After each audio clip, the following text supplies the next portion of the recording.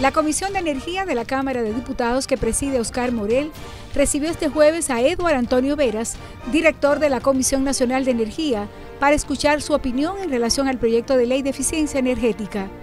Además, socializó la resolución que solicita una subestación eléctrica para mejorar el servicio de electricidad del municipio Villahermosa, provincia La Romana, de la autoría del senador Eduardo Alexis Espíritu Santo, quien estuvo presente.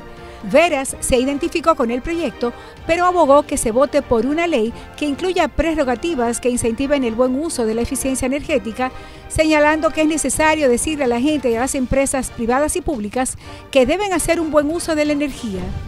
Mientras la comisión de reconocimientos que preside la diputada Dilenia Santos se trasladó al Distrito Municipal del Carril, municipio de Jaina, para tratar el proyecto de resolución que busca reconocer a la Junta de Mujeres Mamatingó por sus 42 años de labor social, educativa y de desarrollo comunitario en beneficio de esa demarcación. Otras 17 comisiones trabajaron y el Grupo Parlamentario Dominico Panameño conformó su directiva. Aprobado.